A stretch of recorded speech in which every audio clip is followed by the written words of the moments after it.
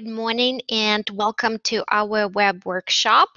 And today the topic of the session is Collaborate Ultra. What is it? And the presenter for this web workshop is Whitney Boswell. And by the way, I forgot to introduce myself. My name is Katrina Stoops, e-learning faculty development coordinator. So Whitney Boswell is the presenter for this web workshop. Whitney is the senior instructional designer at City University of Seattle. She manages different uh, instructional design projects. She creates engaging online mixed mode and in-person courses, supports e-learning technology, and delivers uh, seminars and webinars on using technology in the online classroom. Today in this web workshop, Whitney will show you how to integrate Collaborate Ultra into Blackboard, how to set it up, how to join Collaborate Ultra. She will also show you several ways of using it. This workshop will be interactive and um, that's the reason why we need to go over some house rules. So to participate in the interactive activities that Whitney has prepared for you, uh, you can use the chat and type your questions and comments in the chat box. Um, or you can use your microphones and speak. But when you're not speaking, please keep uh, your mic's muted so, so that we wouldn't get that background noise. If you do not have a microphone, you can always call into the session by um, clicking on the icon that looks like a menu up at the top and then select use your phone for audio. We would love to hear your voices and see your videos because one of the goals for this uh, workshops is not only to share uh, strategies but also build a community. So please if you have um, video if you have um, if you can speak please turn your mics turn on your mics and turn on your videos. Um, if during this session you will have uh, any technical difficulties please use the chat box to let us know. Um, we have several uh, moderators in this collaborate room and we will we are monitoring the chat and we'll help you with any technical uh, issue you um, if you experience any. Um, and I think that's all for now and I will turn it to Whitney. Perfect. Thank you, Katrina. So this uh, web web workshop is really a basic understanding of what Collaborate Ultra is. Um, super, super basic. So it is a web conferencing system that is tied to Blackboard courses. So it's within Blackboard. Um, it can also be used without uh, Blackboard like we're doing now. And um, but in Blackboard in a course, um, you have a lot of different options in the way you use it, and sky's the limit. Your imagination is the limit. So here are some ways you can use it: having class discussions, having a course orientation uh, webinar, having students meet as groups, um, either informally, just letting them know it's available to them, and they can uh, talk amongst themselves and join, or some formal way where you know they're doing a group presentation or they're doing a group activity. And then um, giving Clash Lecture if you want to have that extra time there, um, or presentations to the to your students, you can do, use it for that. There's also recording presentations. Um, you can record your presentations to give to your students. You can have individual students or groups of students do presentations. They can do it live. They could record them. Um, you could hold office hours, and then you could also have guest speakers um, join and if especially if they aren't able to get to wherever you are, it's a nice option. And then virtual field trips as well. So um, we're going to go over the most basic things, um, such as joining, which you all did today very well. Good to see you all here. Um, and then using your audio and uh, camera, as well as the chat. And hopefully answer any of your questions about how it works within Blackboard, setting up your course room or sessions you specifically want to use, and then um, discussing best practices and any ideas you have. And then the more detailed and uh, help with tools will be coming uh, next month in June. All right, so the first activity, I would like you to turn on your audio and video and let us know a little bit about yourself. So what classes you teach, what, what's your name, and then share maybe something you'd rather be doing right now than in a web workshop, and then what do you want to get out of this workshop? And I'm just going to go down the list of participants and ask you to turn on and say hello.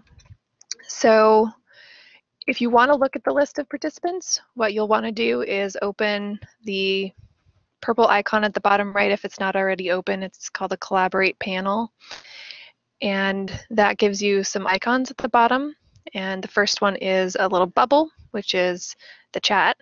And the second one is two little people. And if you click on that, you'll actually see the list of people in the list. So I'm going to go with Adam. Adam, if you want to turn on your video and microphone and Hello. answer their questions. So I do not have a video camera on my computer at my desk, um, so it's just going to be audio for me. Um, That's fine. But uh, yeah, my name's Adam, and I teach uh, English and have taught Russian. Could teach Russian again if needed. Um, and what I would rather be doing right now, um, probably hiking. Uh, it's a nice day out, and I haven't been out there yet. Um, as far as what I want to get out of this workshop, I just am looking for a good overview and some ideas about how to use the use the tool. Perfect. Thank you, Adam. How about you, Amanda? Hi, everyone. Uh, my name is Amanda Steven and I teach accounting classes in the School of Management. And right now, I think I'd rather be outside, same as Adam.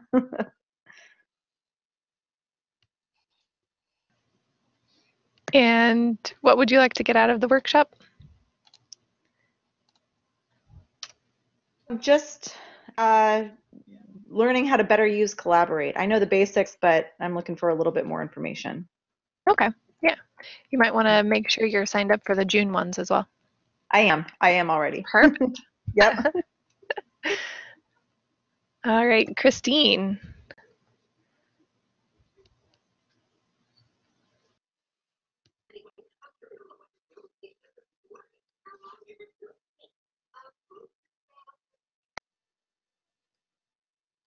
And maybe while Christine's getting her microphone ready, um, at the bottom right, you're going to see probably my video.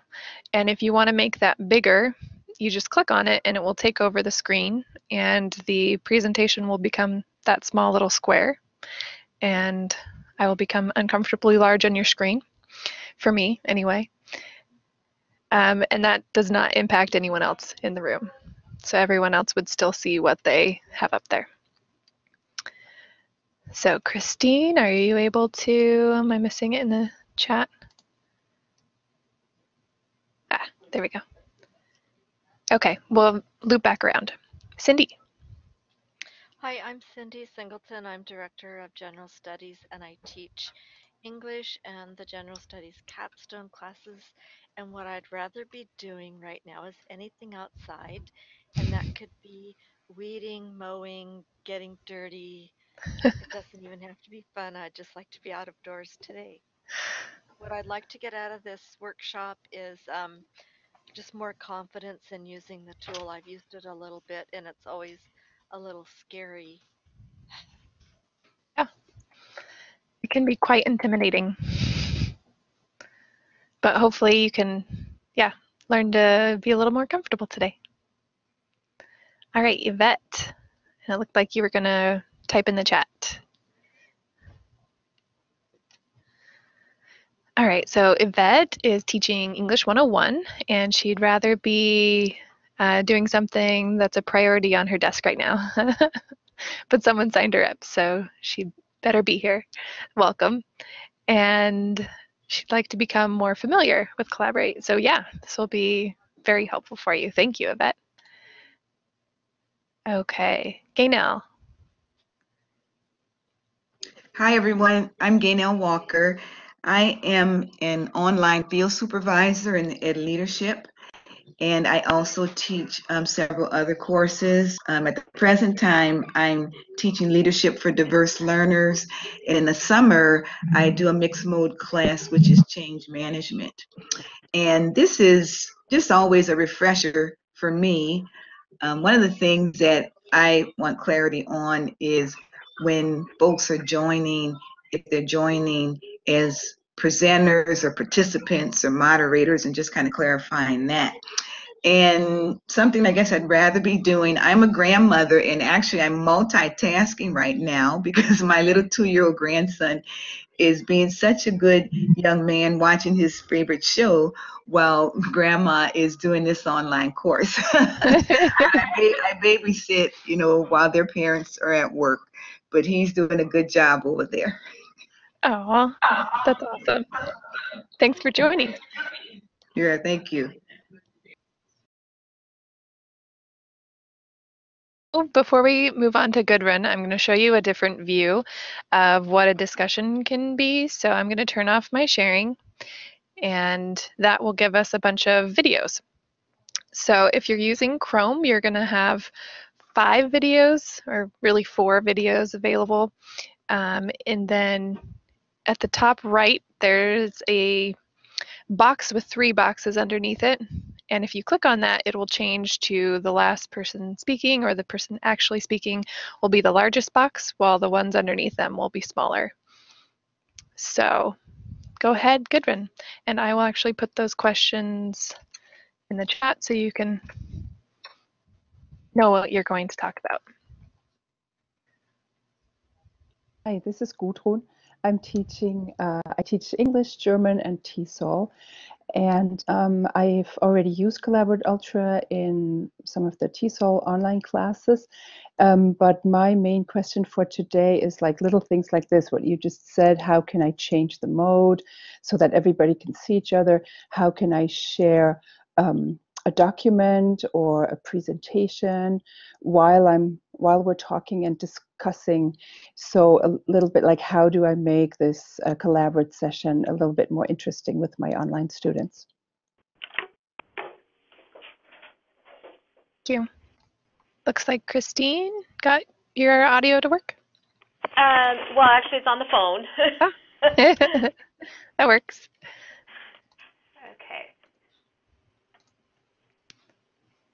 Oh, and Gudrun, um, we might not go over um, like sh document sharing and that sort of thing today, but we'll definitely mm -hmm. go over that in the June uh, web workshops. Okay, yeah, I'm signed up for that. Yep. Perfect. And All and right. how? Yeah. Okay. Yeah. All right, Christine, take it away. All right, so I was a little distracted trying to get audio going there because I was blocked for some reason. Um, so I teach in um, the Ed Leadership programs, and I do in person, and I've got a couple of online uh, courses that I teach. So I just want to learn some more uh, regarding how I could use this in my online courses. Perfect. Thanks for joining. Thanks. All right, jumping down to Maja or Maha. I'm not sure. I apologize for not saying your name right. Hi. That's Hello. okay. Hi. How do you say um, Maya. Maya. Yes. Um, so I'm Maya. I just started to teaching German. And um, yeah, I don't know anything about this program, so anything you will tell us is going to be very helpful to me. um, and yeah, I'd probably also rather be outside, like getting some ice cream. ice cream sounds delicious right now. Thank you. All right, Rachel.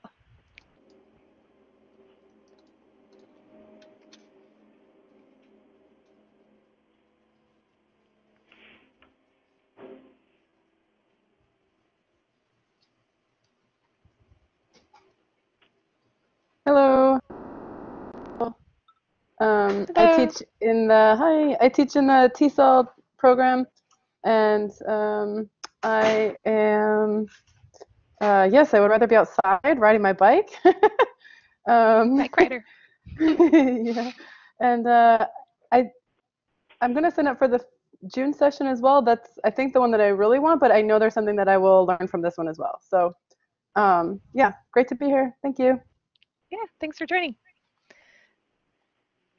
All right, Randy, I believe you were going to type in.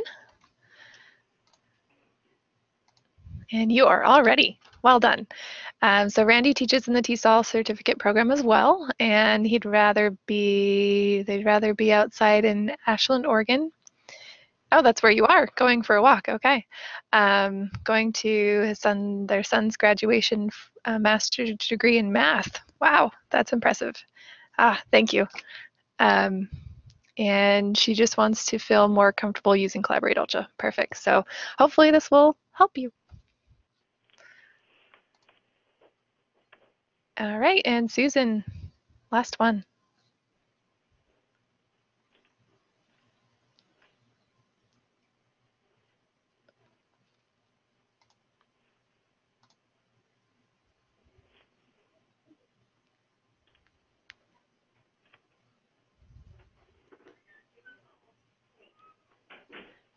Can't quite hear you, Susan, if you're talking.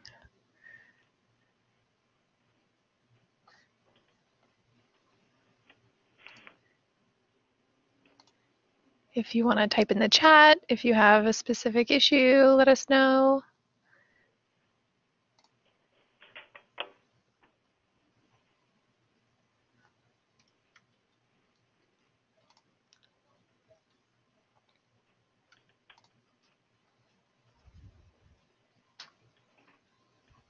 Okay,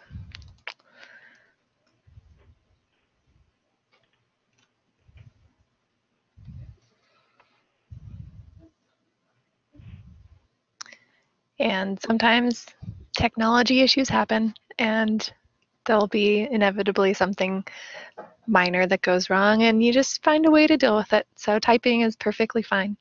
Although it's been really great to see faces as well as voices.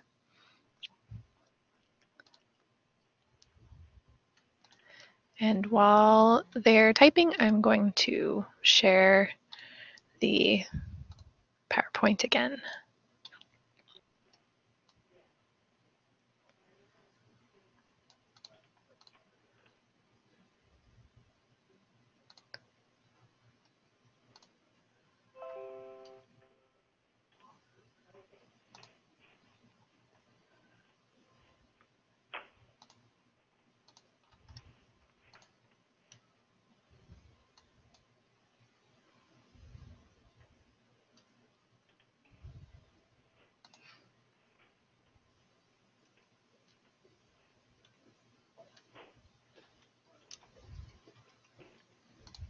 That is a great idea, Adam.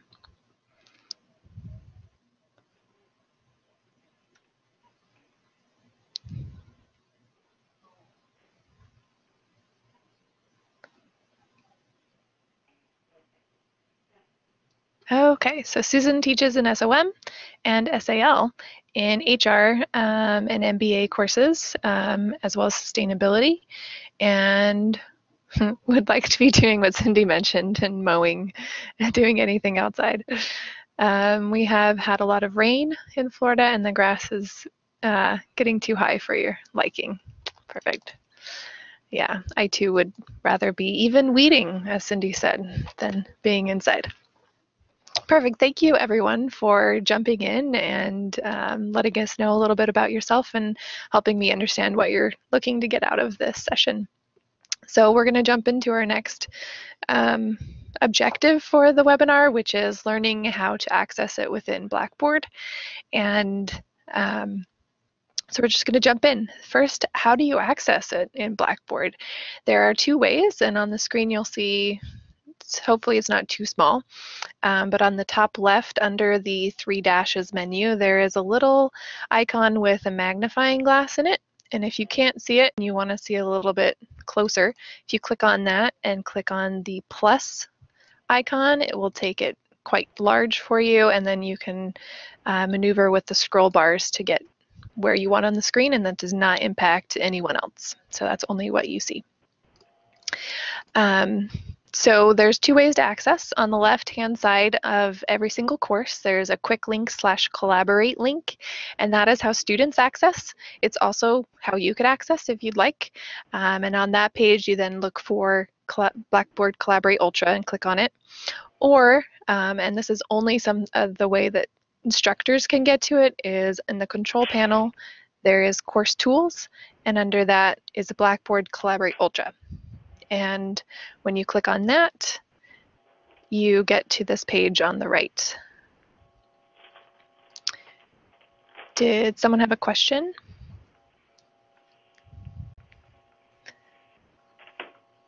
Um, Christine, you may want to mute your your phone if you can. Oh, okay. Do you know how to yes. do that? Got it. Okay. Okay, so once you're here in this area, um, there's a couple things you should know. So the course room, uh, let me get a pointer. Uh, the course room is a generic room that comes with every single course. So your My Workspace has one. Uh, every single live course you teach has one. It just it's automatically there and available. Um, someone had mentioned roles and the automatic role for an instructor in a course if you go into any course room or any session that you create you will join as a moderator. And then the default role for students to join a session or really course room is participant. So there's three different roles. You have the participant which can do basically your audio video you can write on the screen um, and chat and then there's a presenter, and a presenter can share their desktop, they can share PowerPoints, um, and then there's the moderator, and the moderator can record and do polls and do breakout groups. So the more you go up, the more uh, abilities you have. Okay, so in the course room, there's a way to uh, edit the course settings and the reports. So you have actually reports for every course room. And those reports just say who joined, when they joined, how long they were there. So that's really helpful if you don't want to waste time on tallying who joined during the session. Um, if you're giving participation points or whatnot, you can actually do that afterwards and not have to worry about it in session. And then uh, so those three dots at the far right are how you join the course room. So just like you joined using a link in your email for today, that join course room is a link that opens up the collaborate session in the browser just like you did today. You have an anonymous dial-in, so this is new, and this is for um, people who do not have an internet connection at all and will just be joining uh, through audio. So if they know they're going to be out in the mountains, but they're going to have their phone, this is that that could be a way that you could help them join. But it is separate from the call-in feature um, when you're also online watching. Um, you have edit settings, which we'll go over settings in a little bit, and then copy guest links. So I'd mentioned earlier that you could have a guest uh, speaker join, and that's how you would get the link to copy to give to them. And then locking the course room. Uh, we're going to see in a second that you can create sessions, specific sessions, and if you don't want students to get confused about using the course room or using the session, you could lock the course room so that they have no possibility of going somewhere where they don't want to go. And speaking of sessions, you can also create a session. So creating sessions is great for groups. Uh, so you could create a group a session for each group, you know, team one, team two, team three, and then they have a specific place where they can join the whole quarter. Um, you could also do, you know, the course orientation, so it has its own name at a specific time. Um, but when you hit that create session, here are your settings. So you have the name, you have when it starts, when it ends, and then they have a no end option, which is great for groups because if you click no end, it means they can use that room, that team room for the entire quarter. And then early entry, um, you'll notice I got on probably half an hour earlier today. Um, and that just depends on how soon you want to get in. I usually do at least a half an hour, but it has up to an hour. So if you want to go in an hour before it actually starts, actually before this time, then you do that there. And we had a question. Um, do you have to create a session for students to be able to meet you and collaborate? You do not if you are joining the course room. So the course room is automatically there. So if you just want to say, hey, join the course room and we're going to meet, that's totally fine. Um, they do join as participants and you as a moderator. But you could edit the settings and change that if you wanted them to join as moderators. Um, and then here's how you would do that. So the default attendee role is participant, but that's a drop-down menu, and it's then it has the presenter and the moderator. So if you want everyone to be able to come in and moderate, you could have them do that. And that is what I suggest for groups so that they can do everything they need to do in their group. They need to join as moderators. And then you have uh, allowing recording downloads. So do, uh, do you, if they do recordings or if you do recordings, do you want everyone to be able to download them? Um, do you want an, an, an wow, anonymized chat messages? So today, uh, a bunch of you are chatting in the chat box. The recording does capture that, but because I've checked it as anonymous, um, it will be anonymous user one, anonymous user two instead of your names. And then uh, moderator permissions, you really don't need to worry about the showing profile pictures. You'll notice that Aaron and I both have profile pictures, um, but that's mainly a, a, secondary ed option.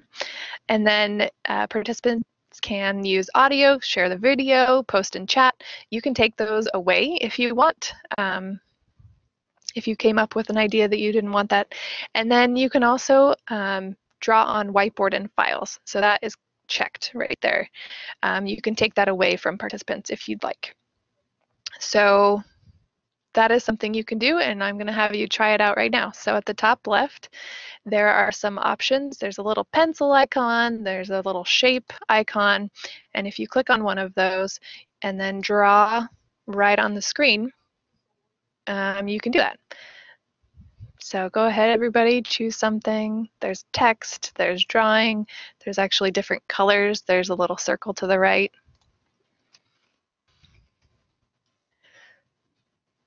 And then the far left icon is a little uh, pointer icon. It's called select. And if you click that, you can click on anything and move it and make it bigger or you can click on something and delete it individually. I have a question. Yeah. Sorry, I forgot to raise my hand. There. No worries. Okay. Is it Go ahead. because you've shared the screen that we can all write on here and see what each other's doing? Um, there are two ways you can do it. So you can share the whiteboard, which is just a blank whiteboard and you can write on it. And then the other way is by sharing a document. Okay. So and you can't write on. Yeah, so you okay. can share the whiteboard or share uh, like a PowerPoint, an image, or uh, a PDF. Those are the three options you can upload, and all of those are able to be written on. Thank you. You're welcome. So does someone want to click on the little eraser icon? It's the far right icon.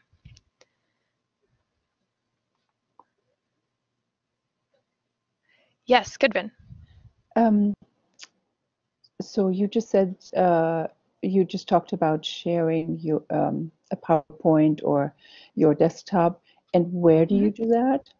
How do you do that? Yeah, so we won't cover that in this session, but I will show you. Um, there is uh, so right next to the chat, if you if you have the chat open. Yes, it says share content.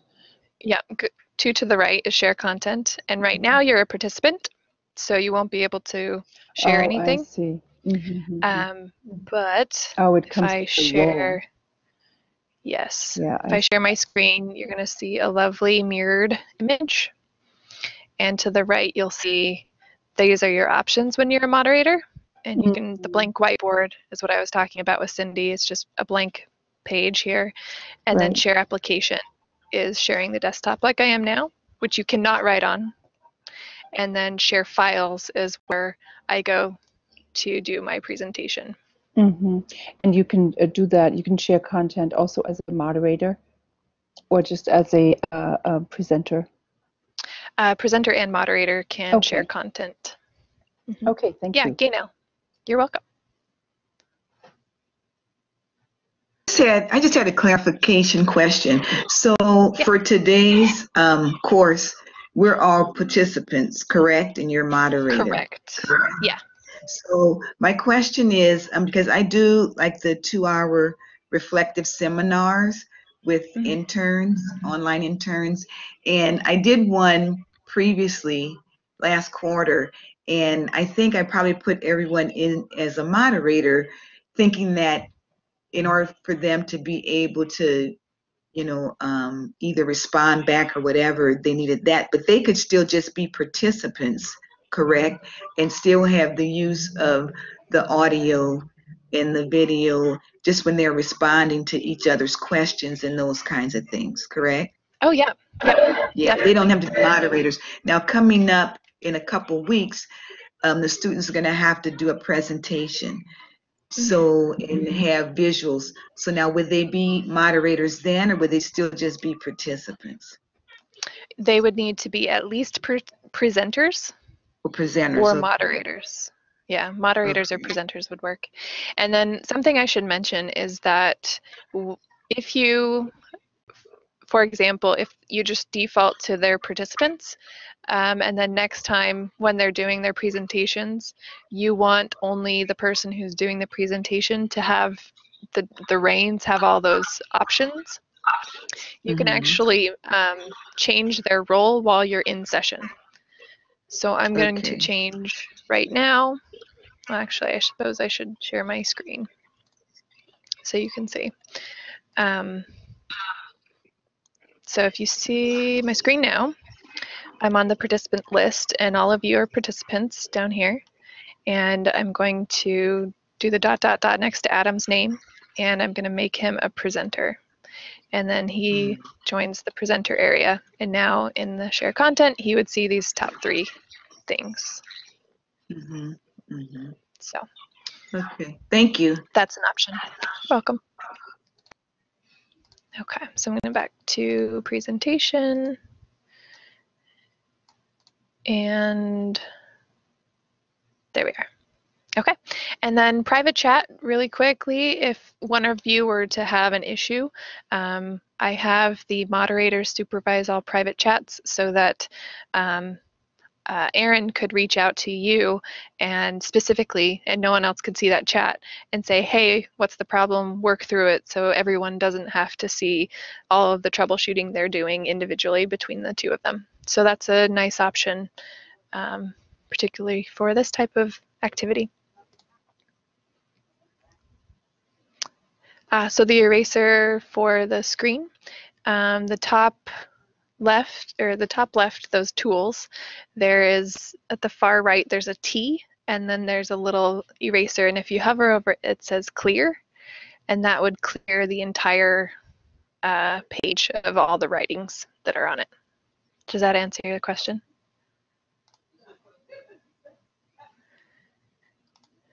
You don't have an eraser either. Oh, Actually, on, on mine it says color. I don't know if everyone else it says color, but it's like a blue dot next Oh, to yep. the T, and it says color. When you click on it, yeah, to the okay, left. to the left of the oh, So colors. to the yeah, to the right of the T is the color, and but there's no eraser. Oh. oh, we just found a new thing. Apparently, only a moderator can clear it.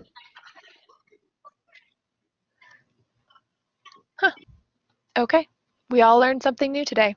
So I have a little icon that looks like an eraser, and I can clear the whole board at once instead of uh, deleting individual things on it. So I will send you a screenshot of what that looks like after the session's over. You're in control. exactly. You're welcome. Okay, so then we have sessions down here. Well, let me get my pointer back. Um, we have the sessions here. So once I've created a session, it lists them here, and the dot dot dot next to it will give me how to join. So I'll go to the next thing. Same same as the course room. The join, the dial in, uh, editing the settings, the reports, deleting it if you don't want it anymore, and copying the guest link. And the guest link is, I did not include it here, but it pops up right here once you created a session and it asks you, do you want to allow guests? And you click yes, and then it asks you the role you want for that guest. So if all your students are joining as participants, but you want your guest speaker to join as a presenter, you could do that specifically for them. And then recordings. So you can record sessions, you can record pieces of sessions, and they will all show up in the recordings area. So in Blackboard, in the Collaborate Ultra area, there's these that same menu icon at the top left. And when you click on it, you will see recordings. And if you click on that, you will actually see the list of recordings there. And if you don't see them, you can click on recent recordings and get recordings within a date range. Uh, yes, Maya. Um, so just one more time, the difference between um, having a classroom and the session is just um, that the session can be open to students to join without me, and so they can like use it more often versus a course room is just like um, for one-time meetings. Um, not quite. So the course room is more like there all the time. So students could use it anytime and you could use it with them anytime. You would have to change the the role of the students when they come in to be moderator if you wanted them to be able to use it consistently um, with certain higher level tools. Um, but you wouldn't have to. If you just want them to be able to talk to each other, they could use the course room at any time over and over. Um, sessions are more for when um, you have specific groups and they need to meet, um, you know, throughout the quarter, but you don't want three groups joining the course room at the same time and kind of talking over each other and um, doing that. So creating the sessions allows them to have a specific space where they're not stepping on each other's toes, if that makes sense. Okay, but so when I when I create sessions, um, I have like three groups I create three sessions so the students can meet separately from each other, but I'm also not available. I'm not in there then, right? Um, you could join. Anyone could join any of the three sessions. They're just looking for their specific, uh, specifically titled. So like if I'm in team one, I can join team one and at our as a team, we decided we're going to meet at this time in this in our room. Um, but I could join team two or team three technically, but I don't know when they're meeting, so I'm probably not going to join. If that right. makes sense. And then you can join in any of those sessions. So if they let you know when they're joining, you could join in. Gotcha. Well. But in the course room, I have to be present. There has to be a moderator. Nope. Also nope. They could join okay. anytime. Yeah. All right. So okay. So it's basically not that big of a difference, correct? Yeah, there's pretty much no difference at all other than if you change, the, if you keep settings different for whatever reason you want to, but technically there's nothing different other than the course room is there all the time. Okay, thank you. You're welcome. Okay. yes, Susan and Randy, that has happened to me as well. Um, so I talked about that locked, locking the course room uh, earlier. So if you have a specific session you're going to, sometimes if you don't lock it, half the class can end up in the course room and half the class can end up in a session room, and that can be a lovely disaster. Okay, so that's how you find the recordings. Um, you can also um, take the links from the recording, so that drop the dot dot dot next to the specific recording, you can actually edit the name. So you'll see I've um, I did it in my workspace in my course room, and I just renamed it to uh, workshop prep. And then in the dot dot dot, you can actually get the link to the recording. So if you don't want students to have to go here to see the recording, you could actually copy that link and put it in an announcement or put it wherever you'd like so that they can watch it. And you don't have to be logged into Blackboard to watch the recordings. And that's also where you would download it if you wanted to download it. All right, so that is the basic general area of how you access Blackboard and Collaborate Ultra. Yes, Randy.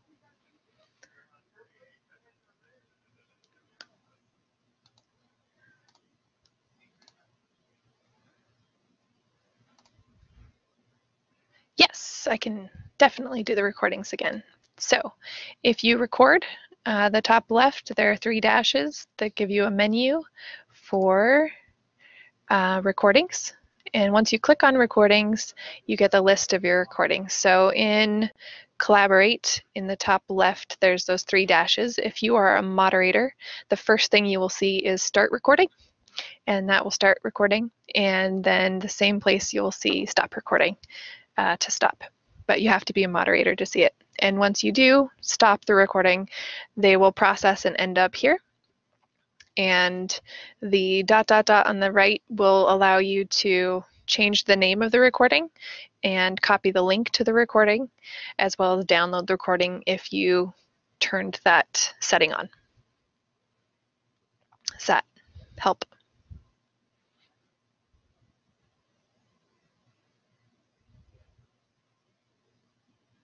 Ah, yes, so copying the link to the uh, so here you would get the copy and um, you would copy the link to the recording and then you could put that in the like an announcement. So, hey, great session. Here's the link to the recording from yesterday. Um, feel free to review it and then you could email that announcement out and then they just click on it and they can see it.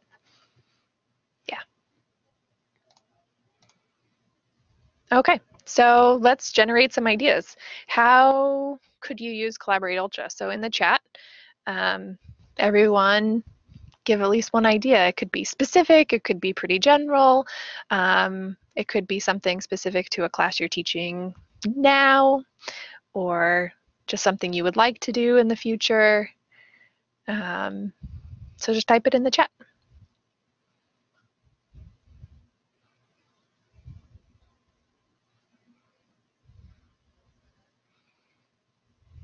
That's great, Cindy. I think a one-on-one with student to review their paper would be really great, especially if they're struggling. Even if they're not, oh, that'd be kind of nice to have that one-on-one. Um, yeah, yeah, it's a great option to record, Randy. That's a great option you know, if you know that they're struggling with something about an assignment or something, making a recording and sending it out is really helpful. It's helpful to see see things in action rather than just um, reading. Yeah, discussions. Discussions are great. It's a really nice option to chat, especially like we did before, where you can see everyone's video and um, talk. Yes, one-on-one -on -one again class discussions, holding office hours. Yeah, students like classes, uh, feel like they like classes better and feel more supported if they if instructors offer office hours, even if they don't show up.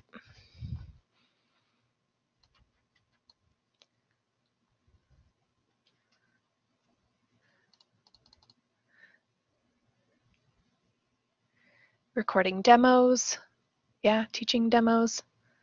I actually used that as an example uh, the last week. Good one.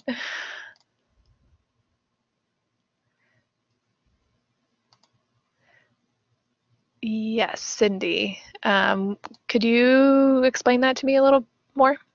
Your question about the two screens? Yeah. So I know that um, you're looking at two screens right now, correct? I am. Yeah.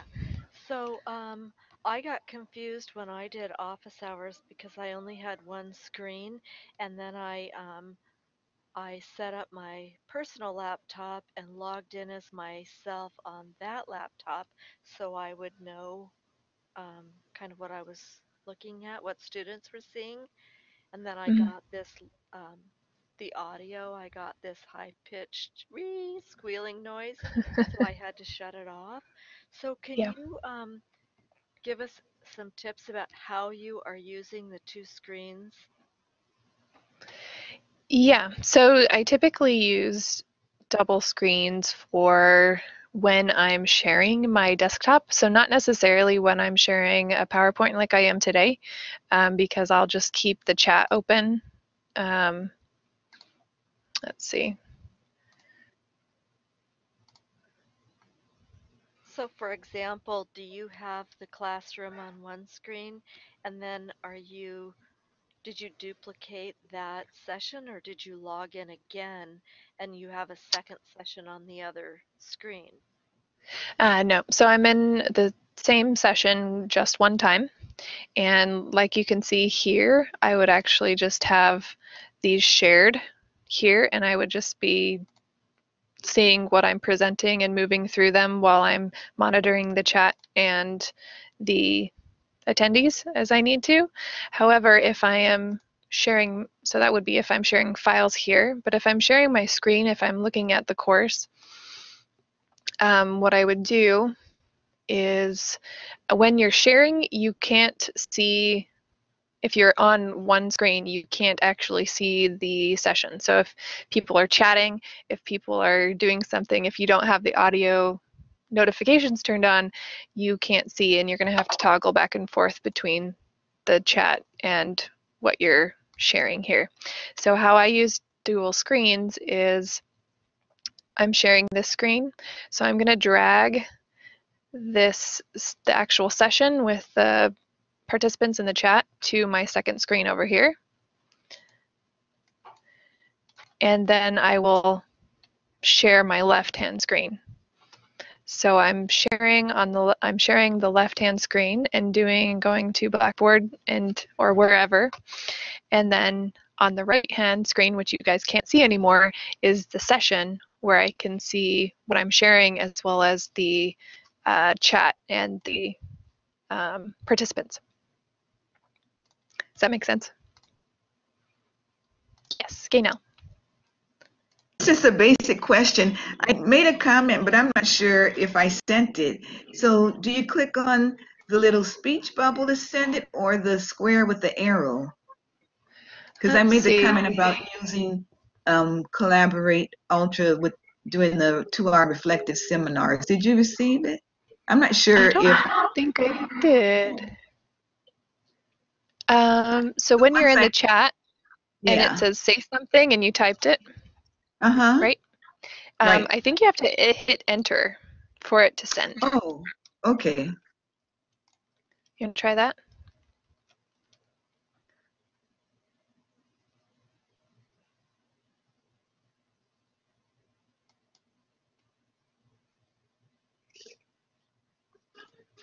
Because I hit enter, but the message is still there. Hmm.